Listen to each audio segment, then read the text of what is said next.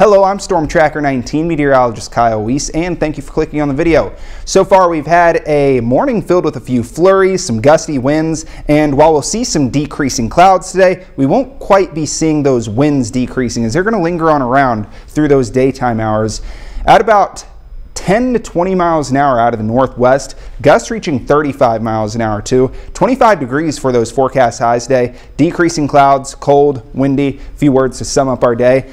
16 degrees for tonight, mostly clear, cold, winds out of the west about 5, 15, and 36 degrees tomorrow. Will be partly cloudy, warmer, and breezy, seeing winds out of the south. This time reaching about 25 miles per hour for some of those gusts, so a slight decrease in those wind speeds uh, from tomorrow or into tomorrow as to what we'll be seeing today. Partly cloudy for Wednesday, highs in the low 40s, staying in those low 40s too, even through Thursday. Thursday going to bring our winter solstice, and that's technically our shortest day of the year. And as we head into Friday, we're going to have some slight chances of rain showers returning. And even as we head into the weekend, more of the same, seeing some clouds overhead with some temperatures in the upper 40s.